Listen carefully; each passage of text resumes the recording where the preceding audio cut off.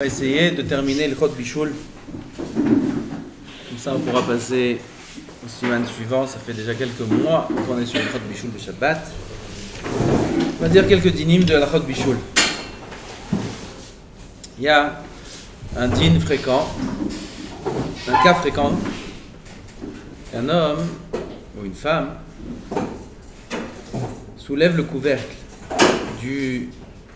de la marmite qui se trouve sur la plaque la plata.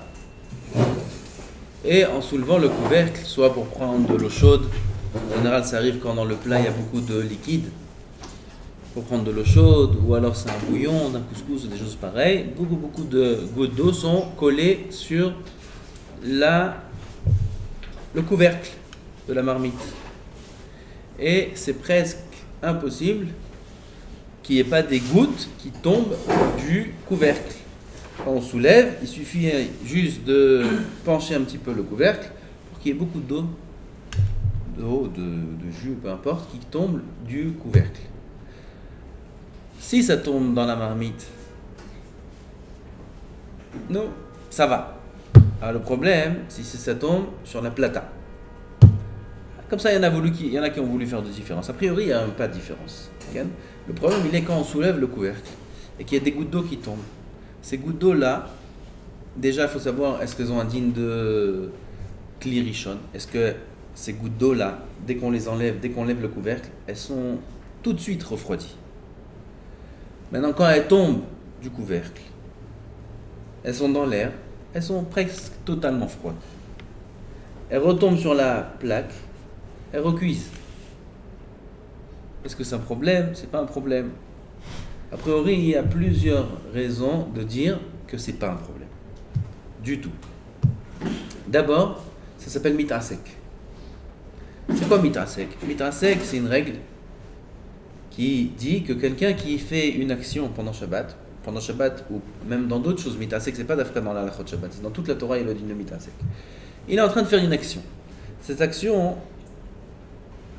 pendant le moment qu'il l'a fait, il fait aussi une autre action, mais qu'il n'a pas l'intention de faire.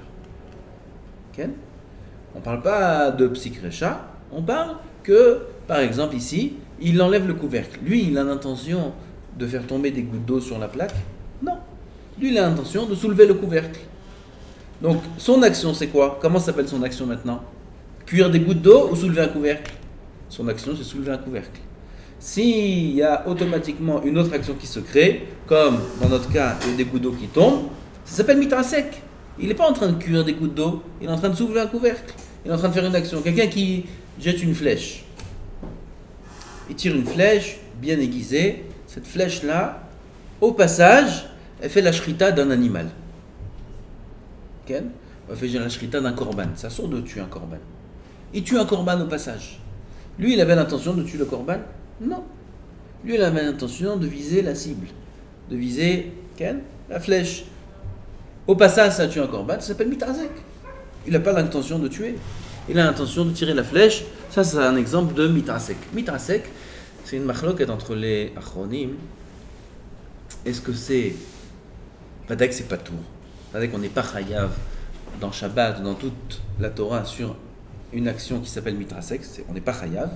La là, est-ce que c'est un issour des Rabanan ou même pas? C'est une machloquette. Il y en a qui disent que mitrasek, c'est pas tout ou moutar. Il n'y a aucun issour dans mitrasek. Donc déjà là, on a un tzad de dire qu'il n'y a aucun problème que les gouttes tombent sur la plaque. Deuxièmement, on a bishul achar bishul, belach. Bishul achar bishul belach, on en a parlé longuement dans la lachot d'avant, dans les cours d'avant on a dit que d'après le Shulchan Aruch, yesh bishul achar bishul, afilu belach. Alors on a dit qu'il y a le Rambam qui tient que en bishul achar bishul. Donc on rajoute en plus que d'après le Rambam, en bishul achar bishul belach, cette eau-là, elle a déjà été cuite. Elle recuit sur la plata, ça s'appelle pas une cuisson. C'est déjà cuit, il n'y a pas de nouvelle cuisson après une cuisson. Et c'est mouta. Deuxièmement, il dit ici le Rav, il y a le din de Khatsishio. On sait que pour être hayav dans la Torah, il faut avoir le shiur. Il faut avoir la mesure entière. C'est-à-dire, par exemple, Kippour, quelqu'un qui mange à Kippour, il faut qu'il mange qu'à Kotevet Agasa. Comme une grande, une grande euh, date. C'est une date spéciale, une grande date. Et ça, c'est le chiot pour être hayav, celui qui mange à Kippour. Celui qui mange moins que ça, il n'est pas hayav. Pareil dans Bijoul, Shabbat, celui qui cuit Shabbat. Pour cuire Shabbat, il faut un chiot. Il faut cuire une certaine quantité. Moins que la quantité, on n'est pas chayav. Maintenant, on a un digne que Khatsi Shiur Asur Minatora. Ça veut dire quelqu'un qui va manger une petite quantité à Kippour. Celui qui mange à Kippour, la quantité qui est interdite, il est chayav karet. Maintenant, quelqu'un qui à Kippour va manger la moitié, ou le tiers, ou le dixième de cette quantité-là, un tout petit peu. Il va manger une une, graine de, de glibette, de pépite. Une. ok? Yashio, c'est un problème de biria. C'est une création, c'est un, aliment qui est entier sur un aliment qui est entier. Alors, il y en a qui disent que c'est comme si qu'il y a le. C'est quelqu'un qui mange, il dit le Ben quelqu'un qui mange un aliment, qui fasse, attention de ne pas le manger en entier. Un aliment qui a moins de kazaït. Comme par exemple une cacahuète une cacahuète, c'est moins que kazaït. Oui? Maintenant, s'il mange une cacahuète entière, il y a des poskim qui disent qu'il doit faire borené fachot. Pourquoi? C'est une biria. C'est entier, sur une chose qui est entière, on doit faire borené fachot même s'il n'y a pas kazaït. On parle qu'il la mange d'un coup. S'il mange une demi-cacahuète, il l'ouvre en deux. Il mange la moitié, et après il mange l'autre moitié. Quand qu'il a mangé une cacahuète entière, le Ben il écrit que sur ça, D'après tout le monde, il n'y a pas besoin de faire Bourane Fachot. Le problème, c'est quand il la mange entière. Alors, c'est une biria, c'est une création qui est entière. Une création qui est entière, elle a une importance en elle-même. Et c'est pour ça que on doit faire Boren Fachot d'après certains poskim. Il dit le Ben ne mange jamais une création, une, création, une création on dit Oui, quelque chose qui a été créé tel quel, il est entier, il ne faut pas le manger. Si un homme il boit de toute façon, il mange de toute façon d'autres choses, il arrive à Kazaï de toute façon, il n'y a pas de problème. Ah, s'il veut juste faire la bracha, il y en a, ils veulent juste faire la bracha, ils prennent une amande, une cacahuète. Il faut faire attention de ne pas la manger d'un coup. Pourquoi Il rentre en safek, brachot, de boré, nefashot? C'est un problème. Avant le Kippour, on va dire qu'un homme il prend une demi-cacahuète et il la mange à Kippour, il est chayav karet. Il n'a pas mangé le shiur de Kotevet Agassa. Il n'est pas chayav karet. Aval, c'est Asur Minatora. La halacha, elle est Chatsi Shiur. Asur Minatora, il fait un interdit de Oraïta. Il est chayav malkout sur ça. Il n'est pas chayav karet, mais il est chayav malkout. S'il y a des témoins, Edim Veatra, il est chayav malkout. Lama, Asur Minatora. Dans Shabbat, il y a un avis qui est Chacham il dit il n'y a pas Chatsi Shiur ça n'existe pas le digne de Chatzishiur dans Shabbat. Chatzishiur, ça a été dit dans toute la Torah, sauf dans Shabbat. Pourquoi?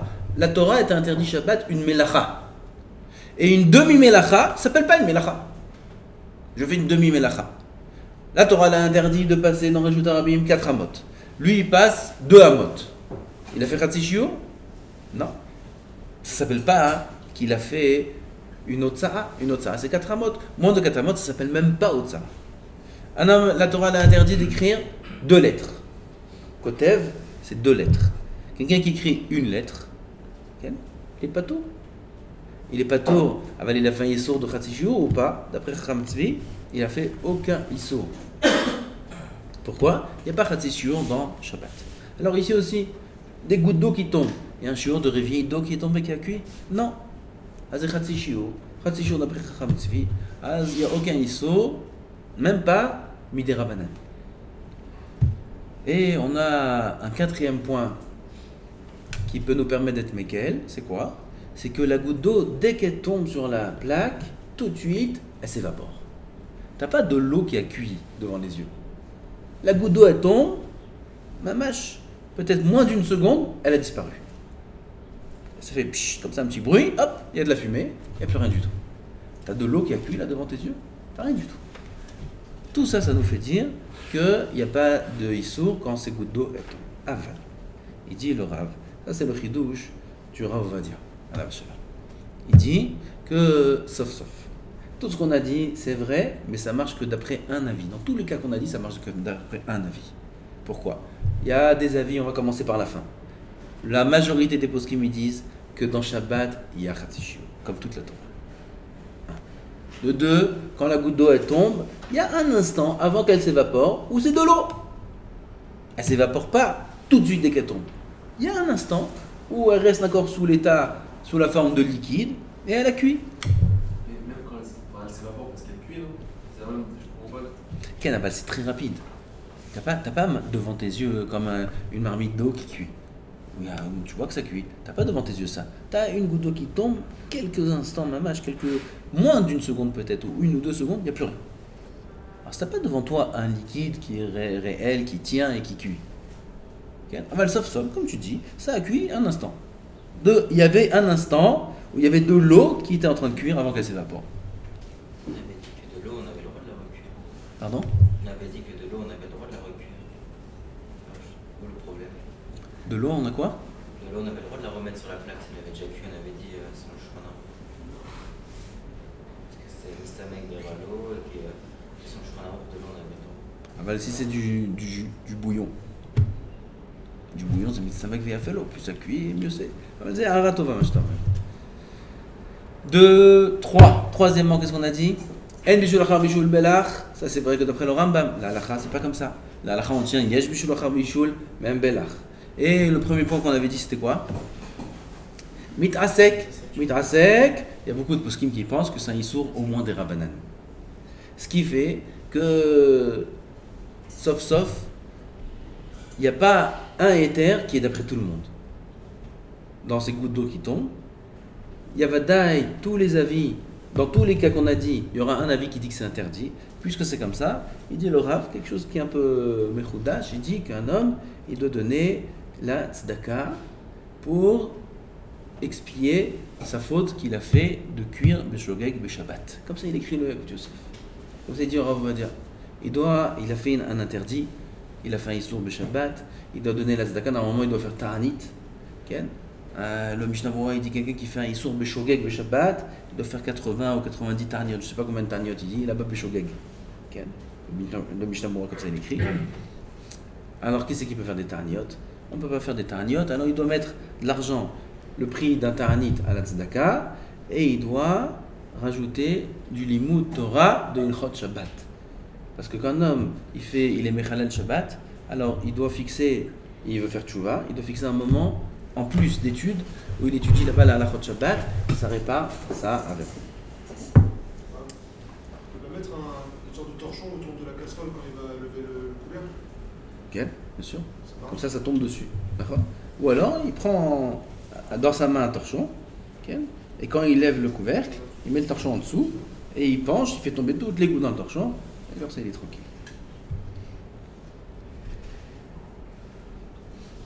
Verser de l'eau chaude dans du sucre Shabbat. Il veut se préparer un thé. Il met d'abord le sucre dans le verre. Et sur le verre, il verse de l'eau chaude directement de la bouilloire. Et après, il met son sachet de thé dans le cli. On a des clichés, c'est mieux de faire cliché. Ou de faire un café, il met le sucre avec le café, il met l'eau directement. Du café, on a dit café turc, c'est un problème aval du café soluble, il met le café soluble avec le sucre dans le verre et dessus il verse de l'eau chaude. C'est moutarde ou c'est assaut? Pourquoi? C'est quoi le problème dans le sucre? Le sucre il est cuit. Le sucre il est cuit quand il sort de l'usine, le sucre qu'on a nous, c'est du sucre qui a déjà passé un talir de cuisson. Et un bichou, le bichou, c'est yavesh. Aval, puisque le sucre dès qu'il rentre en contact avec l'eau, il devient liquide. Dès que l'eau chaude elle touche le sucre, tout de suite le sucre il devient liquide. Alors, il y a des poskim qui considèrent ça comme l'ach, comme quelque chose de liquide, et on tient lacha que yesh bishul bishul lach. Quand j'ai lu cette halakha, j'ai fait une kushia. Quelle kushia On a appris dans Ilchot Shabbat Saïf He ou Chet, je crois dans Stimanchin Utrecht, le cas de Ifanda. Ifanda, le cas classique, où un homme il prend. Ifanda, c'était une sorte de mafé, comment on dit mafé? Euh, Hein? Mafé. Une pâtisserie, une sorte de pâtisserie, qui était farcie, c'est salé, avec du gras. Et quand on posait ça sur la plaque pour chauffer, le gras, il sortait de, ce- de ce- cette pâtisserie, et il devenait liquide, et il recuisait. Il se réchauffait. Alors maintenant, tu cuis du gras. Tu cuis un liquide ou tu cuis un solide? Quand tu le poses, il est à l'état solide. Mais quand il, il chauffe, il devient à l'état liquide. Alors comment ça s'appelle ça? Solide ou liquide? On a déjà dit. Recuire un solide, c'est permis. Recuire un liquide, c'est interdit. Maintenant, cette chose-là, qui quand tu le poses sur la plaque, où il est en contact avec la chaleur, il est à l'état solide. Et après un certain temps, il devient liquide, comme un bouillon ou un poisson marocain avec de la bonne sauce. Tu le sors du frigo. La sauce, elle est, si c'est un bon poisson, elle est toute gelée. Ron, tout est gelé, tout est solide. Tu poses, c'est pas congelé, c'est froid. Froid, ça devient de la gelée. Tu poses sur la plaque, tu veux chauffer ça à ça devient liquide. Et ça cuit, ça devient très chaud. Il y a de ce On a appris que c'est permis. D'où De Ifanda. De ce cas-là. Pourquoi Le gras, il devient liquide. Et le Shulchan il permet cette chose-là. Et le Magan Abraham, lui, il explique que pourquoi c'est permis. C'est permis à mettre qu'il y a deux, deux raisons pourquoi c'est permis. Dans les poskim, il y a deux explications pourquoi c'est permis. Première explication, c'est parce que on voit l'état initial. L'état initial, c'est solide, même si après ça devient liquide, ça s'appelle solide. Première explication. Deuxième explication, c'est Mishum Gramma. Parce que c'est pas une cuisson directe, c'est indirect. Quand je le pose à l'état solide, maintenant indirectement ça devient liquide et ça cuit de soi, mais c'est pas mon action à moi. Alors c'est pour ça que c'est permis. Il y a deux raisons pourquoi on permet. Ah là, à la Khan, on tient les deux raisons. Alors, a priori, le sucre, quand je l'ai mis dans le verre, il est à l'état solide. Quand je mets l'eau chaude dessus, ça devient l'état liquide. Mais à la base, il était solide. Pourquoi c'est interdit? Si on dit que la raison, c'est pas gramma, parce que là, c'est pas gramma. Si on dit que c'est gramma, on comprend pourquoi c'est interdit. Ici, c'est pas gramma. Tu mets l'eau chaude directement, tout de suite, ça devient liquide. Tout de suite, ça cuit. C'est pas, pas gramma. Bishlama dans le infanda, c'est solide, ça prend un certain temps jusqu'à que ça devient liquide. Avant dans le sucre, tout de suite, dès que tu mets l'eau chaude, ça devient liquide. Alors ça, je comprends la différence. Avant, d'après celui qui, explique dans Ifanda que la raison, c'est parce qu'on regarde, l'état initial. Et qu'à l'état initial, c'est solide, même si ça devient liquide après, c'est moutarde. Si aussi. L'état initial du sucre, il est solide. Si ça devient liquide après, c'est moutarde. Alors pourquoi c'est interdit ici?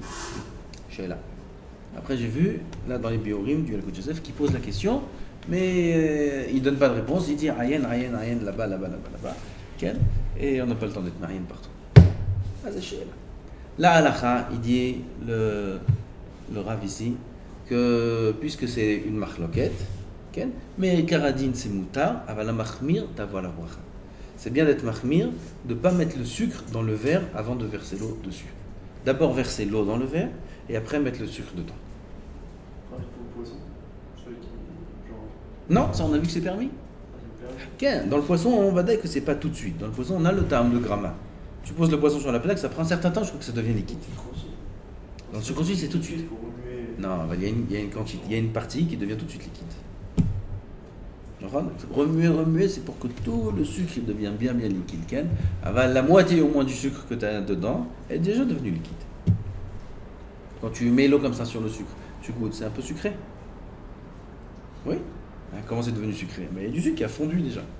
Tous les plats liquides, le vendredi soir, si on les met au congélateur, le samedi matin pour les remettre sur le plaque. Congélateur, c'est une marloquette. Est-ce que ça s'appelle, c'est devenu solide ou pas?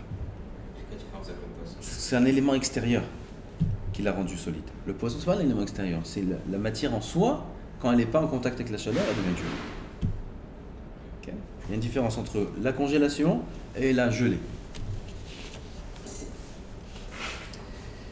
Une autre halakha aussi qui est, qui est fréquente, c'est quand on a une marmite sur la plaque, ça arrive que, ça dépend des minagim, aval la dafina Shabbat. La dafina Shabbat, Il y en a qui la cuisent avant Shabbat. Et il la pose sur la plaque Erev Shabbat, il la laisse là-bas tout Shabbat. Il y en a qui la posent crue. Tout est cru. Ils la mettent sur la plaque avant Shabbat, ça reste là-bas toute la nuit. Le matin, c'est prêt à manger.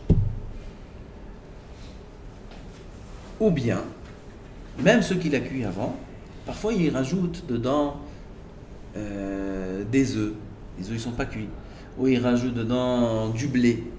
Le blé, il n'est pas cuit. Ils le laissent cuire dedans. Ils mettent un sachet, ils mettent du blé dedans qui n'est pas cuit. Ils le mettent dans la marmite de la DAF, même si elle est cuite.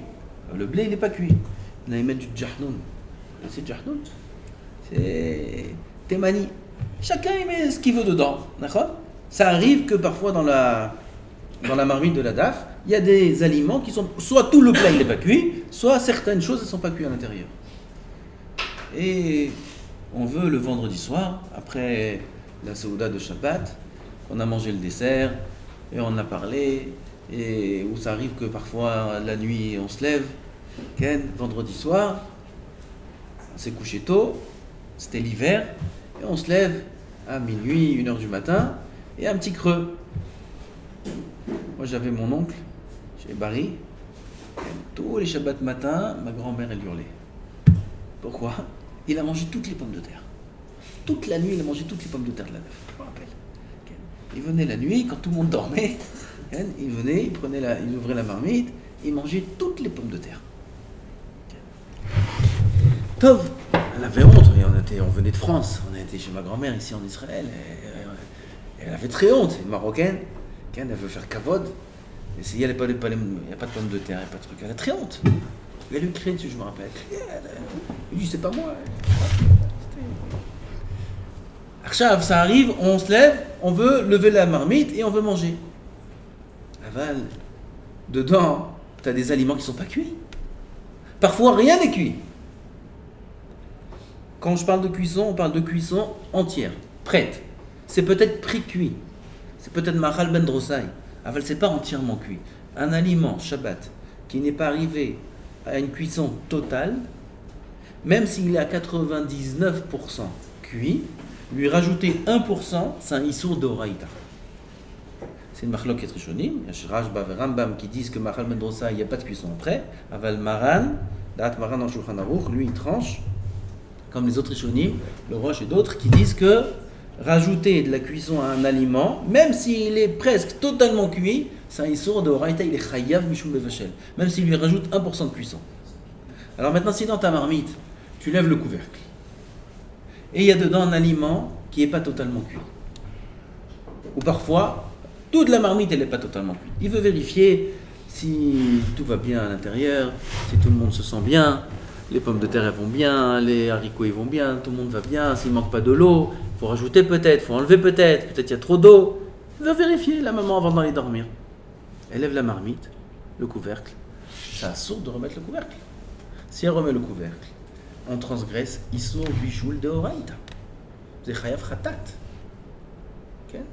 Si le plat n'est pas cuit, même pas Mahal Ben Drosai, Mahal Ben Drosai c'est soit un tiers de la cuisson, soit une demi-cuisson. Même d'après Rashi, Rashi c'est un tiers de cuisson. Si c'est moins d'un tiers de cuisson, c'est Chayav Khatat les. Prendre la marmite, le couvercle, et refermer la marmite, un Issour d'amour. Même si c'est cuit presque totalement, mais pas totalement, c'est assourd de remettre le couvercle sur la marmite. Il accélère la cuisson et il est chayav mishum mevachel beshabbat. Que si on sait, avant d'ouvrir, on est sûr que le plat à l'intérieur, il est totalement cuit. Là seulement, on aura le droit d'ouvrir. Comme par exemple Shabbat matin. Shabbat matin, c'est resté beaucoup d'heures sur la plaque, c'est sûr que tout est cuit à l'intérieur, voilà qu'on peut ouvrir sans problème. Alors vendredi soir, sans problème. Tu sais pas si dedans tout à l'intérieur est cuit. Il y a encore un autre détail, c'est les os. Les os du poulet. Il y en a qui mangent les os du poulet. Maintenant, les os du poulet, ils prennent beaucoup plus de temps à cuire. Ou alors, même si on ne mange pas les os, il y en a qui mangent la moelle qu'il y a dans les os. Et parfois, la moelle qu'il y a dans les os, elle n'est pas cuite. Elle est entourée par l'os, elle n'est pas cuite. Si un homme il veut manger la moelle qu'il y a dans les os, et il ouvre la marmite, et la moelle à l'intérieur, elle n'est pas cuite, il n'a pas le droit de refermer. Ou si, comme on a dit, il y a un aliment à l'intérieur qui n'est pas totalement cuit, il n'a pas le droit de refermer la marmite. Alors, faut attention de ne pas ouvrir. Seulement si on est sûr que tout est cuit à l'intérieur. Maintenant, s'il a déjà ouvert, alors il ne pourra pas remettre. S'il a remis, quel est le din Il devra tout de suite enlever le plat de la plaque. Pourquoi? Parce que s'il laisse, ça va cuire. Donc soit il réouvre le couvercle de la marmite et il enlève, soit il enlève la marmite de la plaque. Ça c'est s'il a fermé.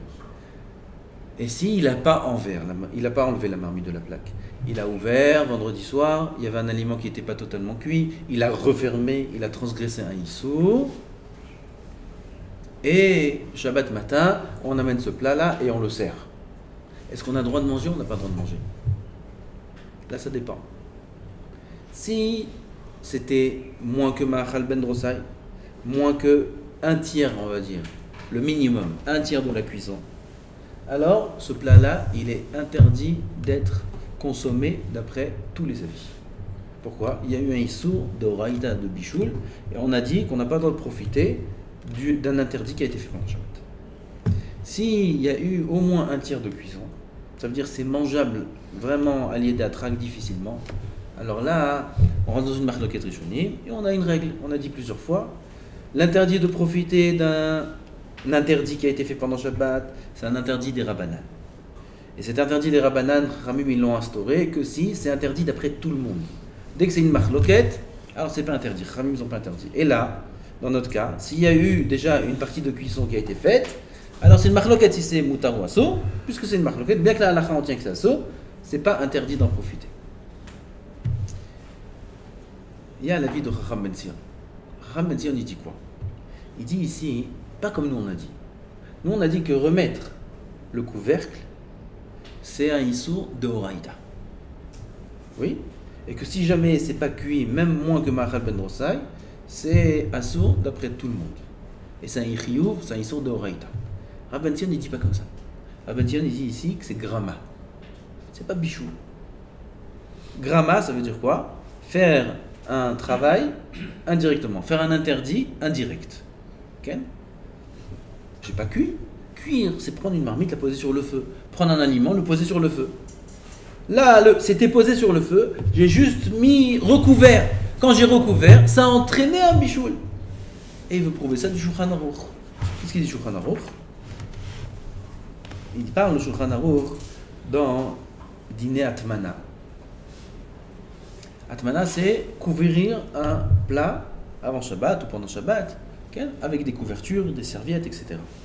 Il dit, la règle elle est comme ça. Si le plat il était couvert avant Shabbat, on a droit de le recouvrir pendant Shabbat si ça a été découvert, ou même de rajouter des couvertures dessus. Ça, c'est si le plat il est totalement cuit avant Shabbat. Mais si le plat il n'est pas cuit avant Shabbat, ou pendant Shabbat, il n'est pas encore totalement cuit, et j'ai déjà une couverture, on va dire la marmite de la DAF, elle est couverte avec une couverture, mais à l'intérieur, la DAF, elle n'est pas totalement cuite. Alors, est-ce que j'ai droit de rajouter des couvertures dessus ou pas? J'ai droit? Qu'est-ce qu'il dit, Rav Teboul. Bah non, Badek, non, t'as raison. C'est assaut. C'est assaut de prendre une couverture et rajouter dessus. Pourquoi? Tu accélères la cuisson. C'est assaut. Le Shulchan il dit Avalimena mevushelet kol tzorka si c'est pas totalement cuit. Afilo le à la kisouille assour. Rajouter sur le kisouille c'est assour. Chez Tosefet ze se rajoute gorem la lektbachel. Gorem, c'est une nation de gramma, ça entraîne un bichoul. Machma que le bichoul il est indirect. Rav Ovadia Shalom, il est cholek. Il dit, c'est faux. C'est un bichoul direct, c'est pas gramma. Là, on voit un des rares cas où Rav Ovadia il est mahmir, et Rav Ovadia il est mekel. Et un Meiri, Meiri, mais forache. Qu'est-ce qu'il dit Meiri Kol o levashel. Tout ce qui accélère la cuisson. Il a donné des exemples, Bolel, Megis, Begdera, Omesim qui souille chez le Gdera à la Gdera, où il met le couvercle d'une marmite sur la marmite. Chayav Mishum Bevachel. Chayav. Chayav, c'est d'Oraïda. Voilà Meiri Meforash. Que refermer le couvercle d'une marmite, c'est un Issour d'Oraïda et non pas un Issour de Rabbana. Quelle différence entre Rav Ovadia et Ben Sion dans la halacha? Il y a une grande différence. D'après Rav Betzion, remettre la marmite, le couvercle sur la plaque, sur la marmite, c'est un issour des rabbanan. D'après dire c'est un issour de Horaïta. Manaf Kamina. Ah, Issour, issour, les deux c'est issour. Manaf Kamina a profité du plat. Quand ça a été fait, Beshogeg. On se rappelle de la règle? Profiter d'un interdit qui a été fait Beshogeg pendant Shabbat. C'est moutar ou c'est assaut Ça dépend. Si l'interdit il est d'Oraïta, c'est assaut. Si l'interdit il est des Rabanan, c'est moutar. Si c'est Bémézid, même des Rabanan, c'est assaut. Ok? Si la chose a été faite Bémézid, l'interdit, il a été fait Bémézid, mais c'est un interdit des Rabanan, même si c'est un interdit des Rabanan, c'est assaut. Seulement si c'est fait Beshogeg et que c'est un interdit des Rabanan, c'est moutar. Donc d'après Rabban Sion, même si cette marmite-là, elle n'était pas cuite du tout, et qu'on a remis le couvercle sur la marmite, mais Beshogeg, ok on ne savait pas que c'était Shabbat, ou on ne savait pas que c'était interdit, ils n'ont pas écouté encore ce cours-là, ils ne savaient pas que c'était interdit. Ils ont mis la marmite sur le, le couvercle sur la marmite Beshogeg, ils ne savaient pas que c'était interdit. c'est moutar, d'après Sion, de manger le plat. Pourquoi? C'est un interdit des Rabbanan Beshogeg, c'est temps de profiter. C'est assourd de le faire, mais c'est temps d'en profiter. D'après Ravadia, c'est un interdit d'Eoraita, et un interdit d'Eoraita, même si c'est fait Beshogeg, c'est assourd d'en profiter. Voilà une nafkamina entre Ravadia et Rabban Sion. Moi, Rabban Sion s'arrange avec la mairie. Non. Kouchia. Comment euh, un Vitson, il, compare les, les cas du torchon avec la, avec la casserole? Parce que si on enlève la, le couvercle, il n'y a rien qui couvre. Alors dans le cas du torchon, il y a déjà un torchon qui couvre la, la première fois et après milieu. Le problème, c'est de rajouter un torchon sur déjà, sur déjà une couverture. Ken, ah, Ken. Sauf, sauf, pourquoi, pourquoi couvrir, couvrir une, euh, un couvercle d'une marmite sur une marmite ça s'appelle bichou Comme ça, on cuit? Réponse, oui. Oui, comme ça, on cuit. Comment on cuit Tu prends une marmite et tu mets un couvercle dessus. Donc, c'est la façon de faire. À l'époque du Shulchan c'était la façon de cuire aussi. On met un, deux, trois. C'est la façon de faire. Dès lors que c'est la façon de faire, c'est chayav, michoum, bichoul, et c'est pas, ça s'appelle pas gramma. Si par exemple, la maman, enfin, elle savait pas que dans le couvercle remettre, et ça fait une cuisson. Est-ce que tous ceux qui vont manger de la famille, ils ont fait un issour D'après on va dire oui. On n'a pas le droit de manger. Seulement si le plat il n'est pas cuit du tout. Ou il n'est pas arrivé à une cuisson qui est mangeable difficilement. Est-ce que si lui qui a enlevé le couvert, est-ce qu'il aura le droit lui aussi d'en profiter? Il a enlevé, il a remis? Oui, il a le droit de manger. Bah, C'est sûr. Euh, à plus forte raison que lui, il n'a pas le droit. Mais C'est lui-même qui a fait l'interdit. Si la famille a le droit, est-ce que lui il aura le droit aussi Il n'y a pas de différence entre lui et la famille. La Acherim et l'eau, nous on ne fait pas de différence. Il n'y a pas de différence. Ben l'eau, ben l'Acherim, c'est la même chose. C'est assourd pendant Shabbat. La différence entre lui et les autres, c'est que Motsai Shabbat, si c'est fait Bemezit. C'est ça la différence. Que lui, il n'aura pas le droit, jamais, et les autres, ils auront droit à Motsai Shabbat.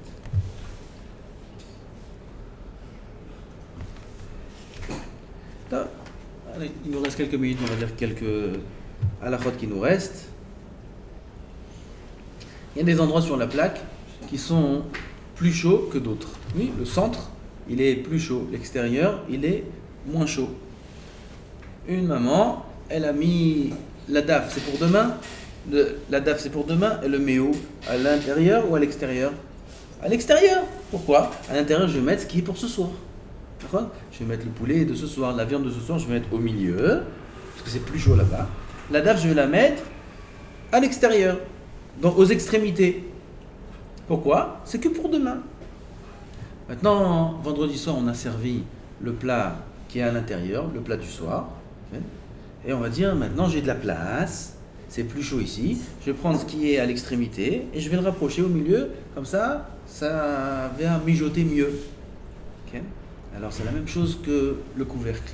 Si c'est pas totalement cuit ce qui est à l'intérieur, c'est assourd de faire ça.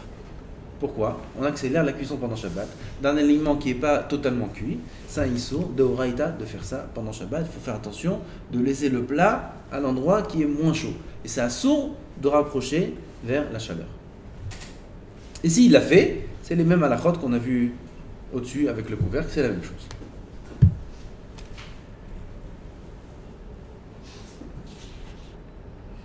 On a. Ça c'est pas très fréquent. Tiens, il y a un cas qui est fréquent, c'est celui-là. Matseket. Matseket, c'est la louche. On a le bouillon du couscous. Le bouillon du couscous, on le sert avec une louche en général. Une louche, parfois il y a des trous, sans trous, trous, pas trous, c'est Borer, Bezat Hashem, ce sera là la route d'après. Ah ben disons maintenant c'est une louche sans trou. On prend le bouillon du couscous et on sert dans l'assiette. Cette louche-là, elle a le digne de clirichon ou de clicheni. Quand je dis louche, c'est d'Avzavka, ça peut être aussi une cuillère, ça peut être tout autre objet. Est-ce qu'il a un digne de clirichon ou il a un digne de clicheni Qu'est-ce que ça change? Ça change beaucoup. Sur quoi je le verse? Si je verse sur un aliment qui n'est pas cuit, par exemple, j'ai le bouillon, j'ai la semoule, j'ai la semoule, et sur la semoule, on a coupé des oignons. Il y en a qui aiment bien les oignons euh, crus avec le couscous.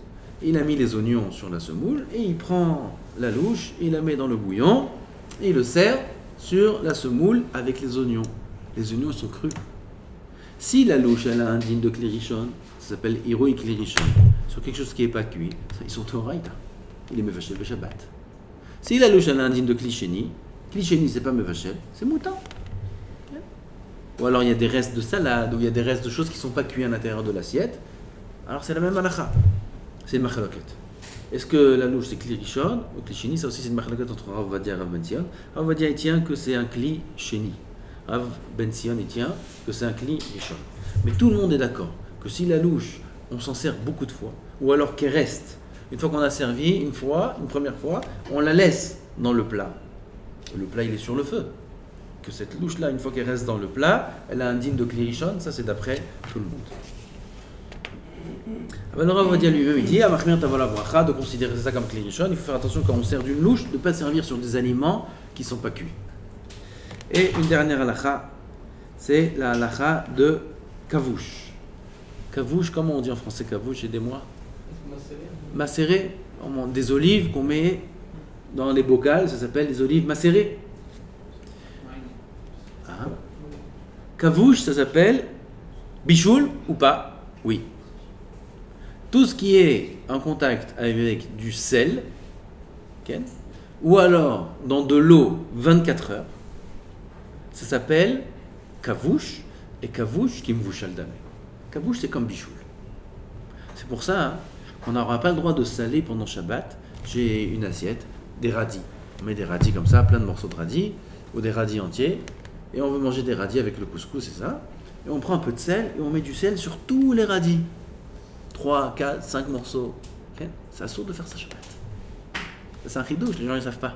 Pourquoi? Tu fais tes kvashim be Shabbat. Ata ah, kovesh kvashim be Shabbat. Ça sort d'être kovesh kvashim be Shabbat. Hmm? Ah, ça ah, sort de faire ça pendant Shabbat. C'est pour ça que tu veux manger des radis avec du sel. Tu mets le sel un par un. Tu prends un radis, tu mets du sel sur un radis. Alors, si tu mets du sel sur plusieurs, Zenira, Kemo, Kovesh, Shabbat. Mais la c'est Il y a un autre dîne aussi. Quelqu'un, il a fait des olives dans un bocal. C'est, il a fait fait maison. Des olives cavouches, fait maison des olives, ou des cornichons, fait maison. Et parfois, on est gourmand. Et c'est pas rester macéré le temps qu'il faut. Il faut deux mois, trois mois pour que ce soit bien prêt. Il faut que ça reste longtemps. Et on veut Shabbat goûter quelques olives. Allez, viens, on goûte. C'est mangeable, c'est bon déjà, même quand ça c'est bon. Mais c'est pas encore 100%. Si ça reste encore en deux semaines, trois semaines, c'est encore meilleur. Il a servi une petite assiette avec des olives pour Nirvot Shabbat Kodesh. Il a mangé, il n'a pas tout mangé. Maintenant, ce qui reste, c'est dommage, il en remet dans le bocal. Comme ça, ça continue à macérer. C'est assourd de faire ça pendant Shabbat. Tu es kovesh kvashim Shabbat, c'est assourd. Qui reste dans le bocal, c'est assourd de- dans l'assiette, c'est assourd de remettre dans le bocal. Pareil pour les cornichons. Que si c'est entièrement kavouche, c'est-à-dire elles sont prêtes à 100%, tu vas rien rajouter de les mettre à l'intérieur. Ou même si tu vas rajouter, aval c'est begedan mitztamek ve yafelo. Mitztamek ve yafelo, c'est permis. On a le droit de remettre un plat, même si c'est mitztamek ve yafelo. J'ai un plat qui est totalement cuit. Totalement cuit. J'ai ouvert le couvercle. Je regarde, tout est cuit, Baruch Hashem, tout va bien, on va se régaler demain. J'ai le droit de refermer? Ah, Comment tu refermes? Mitztamek ve yafelo. Mitztamek ve yafelo, ça veut dire plus ça va mijoter, et meilleur c'est. Donc tu rajoutes de la cuisson. Mitzamek ve'afelo, c'est pas de la cuisson, c'est moutarde. Pareil pour ces olives-là. Ces olives-là, elles sont arrivées à, à terme, c'est bon, c'est très bien, la recette elle est comme ça, qu'il faut faire. On a laissé le temps qu'il fallait. Maintenant, c'est vrai que plus je vais laisser, et plus ça va être meilleur, c'est quand même moutard de les remettre. Tout ce qu'on a dit que c'est interdit de les remettre, c'est si c'est pas totalement prêt. Il reste encore une petite semaine, deux petites semaines de cavouche, ça, ça sera sourd de les remettre.